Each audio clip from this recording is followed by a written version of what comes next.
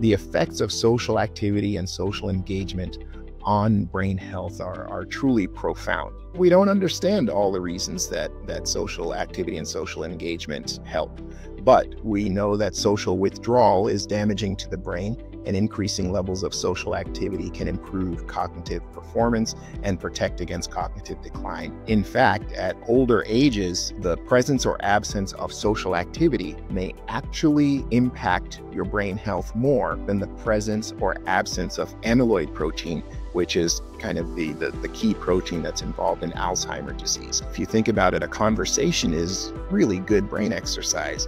There's, of course, the, the language component of it, both producing and interpreting language, but they're also interpreting vocal inflections, facial expressions, thinking about the overall plan for the conversation. But we think that there is an independent effect of just that engagement with another person because they there have also been studies demonstrating that the depth of one's engagement with their social contacts influences the impact of, of social interaction on brain health.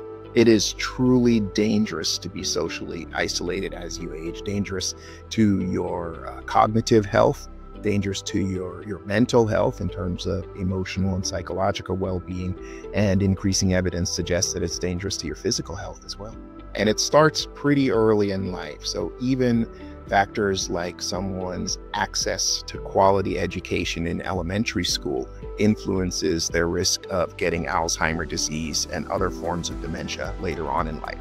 So, very early age onward, our level of intellectual or cognitive engagement has a lot to do with where our cognitive status ends up towards the towards the end of life.